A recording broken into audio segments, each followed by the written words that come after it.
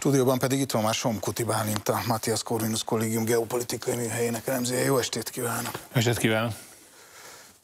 Nehéz megszólalni Nehéz. ezek után a beszélgetések után. Hallhattuk itt Isberg úr arról beszélt, hogy mennyire nagy várakozások vannak az izraeli társadalomban a hadműveletek megindulásával kapcsolatban. Ma délelőtt ugye behatoltak egy rövid időre egy, egy kisebb hadművelet. Mi történt ott? Én meg kockáztatni, hogy a rendkívül nagy társadalmi nyomása valamit kellett már csinálni. Nyilván politikai szinten, külpolitikában nagyon, nagyon komoly nyomást nehezedik az izraeli vezetése azon a területen, hogy ne indítsa meg ezt a támadást, vagy minél később indítsa meg ezt a támadást. És ez egyfajta erőszakos felderítésnek tekintete, amiben igyekeztek azokat az útvonalakat megtisztítani, úgy az akadályoktól, mind a tüzelőállásoktól, a tüzelőállásoktól, ahonnan lőhetik vagy támadhatják a, a gázai vezető behatoló izraeli alakulatokat. Én ezt inkább egy ilyen morál megőrző vagy morál növelő akciónak látom, mint egy tényleges katonai műveletnek. Nyitva van még ez az időablak, amin oda be lehet menni, és Gázában azok, azt a, a nagyszabású hadműveletet el lehet kezdeni, amiről itt Eli Hirschberg is beszélt. Tehát Természetesen. Még... Tehát ez, ez, ez akkor zárulhatna be, hogyha ha a gázai teljesen kiürülne. Tehát ott van egy olyan ö, infrastruktúrája Hamasnak, műhelyek, ö, alagutak, vezetési központok, kiképzési központok, és valószínűleg ott vannak a túszok is, akik, ahol föl kell lépni az izraeli hadseregnek. Ugye arról is a társadalom részéről nagyon nyomás, hogy minél előbb történjen meg ez a hadművelet. A túszoknak is, túszokat is ki kellene szabadítani.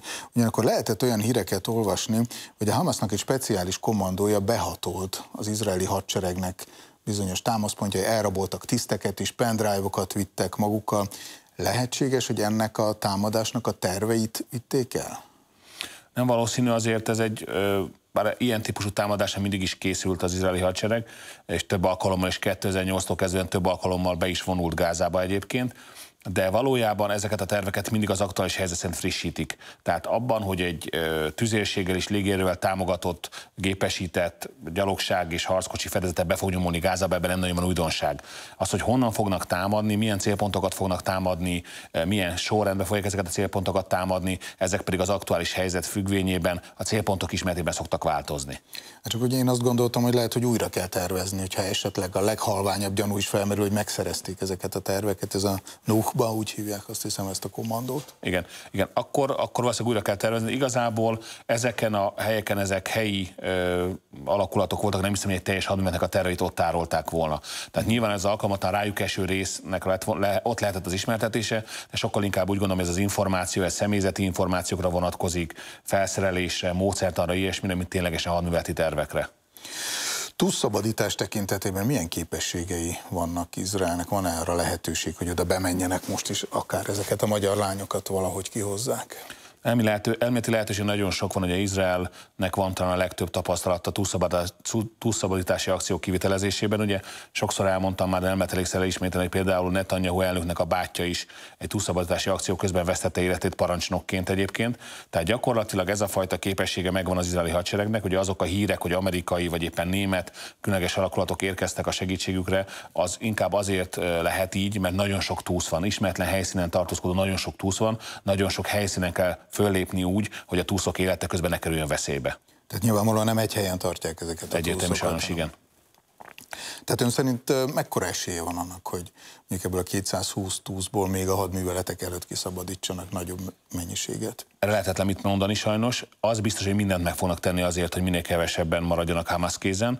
Egy érdekeséget hagyj emeljek ki, hogy nagyon finoman, de Katar és Törökország is kritizálta a Hamasnak a módszereit. Ugye nyilván egy adott helyzetben nem lehetett egyértelmű kritikát megfogalmazni, de mind a két hivatalos közleményben megjelent az a kifejezés, hogy a háborúnak is megvannak a szabályai, a maga szabályai.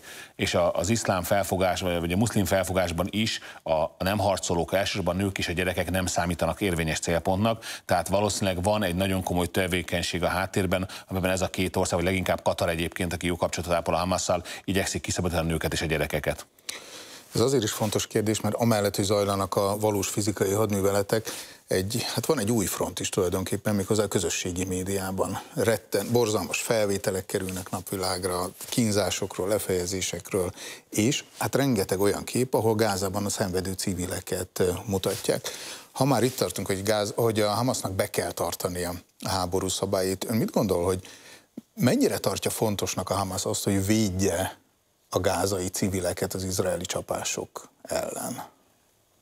Alapvetően a, a Hamas amellett, egy terrorszervezet, emellett egy gerilla szervezet is. És a gerillák azok akkor tudnak, hiszen politikai célokért harcolnak egy, egy független, vagy egy valamilyen szinten független Palesztina létrejött tér terrorista módszerekkel tegyük hozzá. Tehát onnantól kezdve, hogy ők beolvadnak a lakosságba, innentől kezdve felhasználják őket több szempontból. Nyilván ez nem teljesen a lakosság ellen, hiszen a lakosság is hasonló célokat val, úgyhogy nagyon nehéz meghúzni azt a határt, hogy honnantól lehet és szabad és, és kell valakit támogatónak, függetlennek, civilnek vagy, vagy éppen terroristának minősíteni. Nyilván, aki nem vett részt terrorista cselekményben, az nem számít érvényes célpontnak, viszont a támogatásával, akár azzal, hogy például az izraeli művetekről tájékoztatja őket, mert olyan ingoványos talajra téved, ahol már nem nagyon lehet elhatárolni hogy ki az, aki érvényes vagy érvénytelen célpont. De akarja a Hamas? Te tesz erőfeszítéseket azért, hogy védje a civil lakosságot? Vagy e- elegendő erőfeszítést? Én úgy gondolom, hogy nem. Vannak arról hírek, hogy, hogy nem, engem is engedik távozni a civil lakosságot, mert onnantól kezdve, a civil lakosság elhagyja egy területet, onnantól kezdve, aki ott marad, az már terrorista. Tehát innentől kezdve nem fog gondot okozni az izraeleknek de aki ott van és mozog, az terroristának számít. Nagyon hasonló helyzet volt egyébként Faludzsában 2004-ben, ahol a, a, egy támadás után az amerikaiak megindítottak egy műveletet, ott viszont szándékosan a lakosságnak a része, az a része, aki nem akart harcolni, elhagyhatta a területet. Itt azért nagyon nehéz elhagyni ezt a területet. Hamasnak egy delegációja utazott Moszkvába. Ma ön szerint Vladimir Putyin joggal gondolhatja azt, hogy ez a konfliktus, ez a közel-keleti válság, ez jól jön neki az Ukrajna elleni háborúban? Hát az a, az a tény, hogy a, arab-izraeli konfliktusnak ez az újabb fejezete eltereli a figyelmet Ukrajnáról, az mindenképpen kedvező Oroszország számára. Odáig nem mennék el, hogy bármilyen aktív vagy akár passzív szerepet is vállalt ebbe a, a terrortámadásba, de az a tény, hogy a, a média figyelmét mindenképpen elvonja az állásháborúba fulló és gyakorlatilag kevés új információval szolgáló ukrán küzdelemből, ez mindenképpen előnyös Oroszország számára. De akkor azt el lehet mondani, hogy ennek az izraeli háborúnak a folytatásában érdekelt Oroszország? Igen, ez, ez nem túlzás. Nyilván azért Oroszországnak is megvoltak a maga rossz tapasztalatai terroristákkal, és a Hamaszt azért ugyan de facto egy, egy, egy, egy kormányzat, vagy egy ilyen előállam, egy protoállamnak lehet tekinteni, de attól függetlenül nem hiszem, hogy túlságosan komoly támogatást adnak ki, pontosan azért, mert aki terroristákat támogat, az előbb-utóbb maga is terrorista gyanúba keveredik. De akkor miért engedi őket be Moszkvába? Miért hívja meg őket Moszkvába? Ráadásul azért, hogy ott üljenek össze? Igen. Alapvetően azt érdemes látni, hogy az orosz vezetésnek deklarált célja annak a nyugati rendszernek a megdöntése, amelyik jelenleg a világot sok szempontból mozgatja és meghatározza. És ennek részeként látják ezeknek a különböző szervezeteknek a küzdelmét a, a, a szabadságért vagy a függetlenségért, és ez egy rendkívüli komoly diplomáciai lépés a globális dél számára, hogy mi támogatjuk az elnyomóitok vagy a korábbi elnyomóitokkal szemben folytatott küzdelmeteket, de nem hiszem, hogy ennek egy diplomáciai gesztuson túl nagyon komoly haszna lenne, vagy további lépése lenne ennek. Ön szerint ki jelenti most a legnagyobb veszélyt Izraelre jelen pillanatban? A jelen pillanatban szerintem már a létfontosságú veszélyt az jelenthet, hogy regionális háború lesz ebből a konfliktusból. Tehát Irán? Irán nagyon messze van. Tehát hiába vannak proxiai, van, hallottam olyan véleményt egy perzsa szakértőt, egy irán szakértőtől, lehet, hogy a Hamas önhatalmulag döntött úgy, hogy azokat a képességeket, amit részben iráni támogatással halmozott föl, most veti be. Tehát elképzelhető, és valószínű az, hogy Irán azért készítette elő a Hamaszt és azért támogatja a Hezbollahot is, hogyha esetleg kirobban egy regionális háború, amiben ő az egyik harcoló fél, abban esetben kavart vagy zavart kelthessen a hátországban vele. Most a Hamas a saját kezébe vette a kezdeményezést, és igazából nehéz ezeket megmondani, hogy, hogy egy ilyen fizikai távos 1500 kilométer van Tel Aviv és hmm. Teherán között. Ez óriási távolság. Tehát itt igazából balisztikus rakétákon kívül nem is, nem is nagyon lehet elképzelni, hogy hogy tudnak közvetlen konfliktusba keveredni a két ország. Ja, azért kérdezem, hogy nagy a távolság, de a Törökország Erdogan elnök egyértelműen kiállt a Hamas mellett. Igen, de nem hiszem, hogy beállna Irán mellé. Tehát, hogy itt azért, azért ellenkező érdekek vannak. Ugye Irán is szeretné magát az elnyomott muszlimok védelmezőjeként feltüntetni.